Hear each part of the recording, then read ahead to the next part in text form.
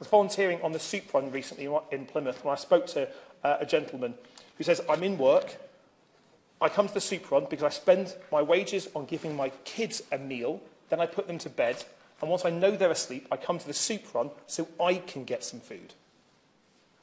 That is utterly shameful.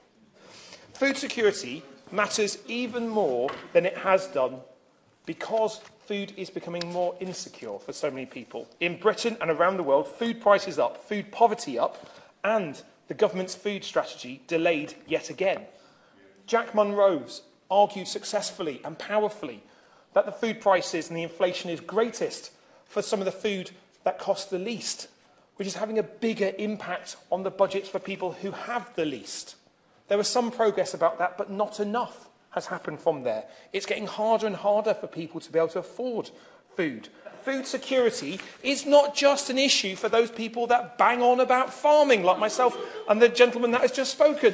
We need to make sure that it is put into plain English and put further up the political league table. There are now more food banks in this country than there are branches of McDonald's. And let's be clear, each of those food banks, those emergency food provisions, the food larders, are testament to the generosity and kindness of that community. But every single one of them should not exist because we should have a system where everyone can afford to feed themselves, can afford the energy to cook that meal, and the housing that goes with it.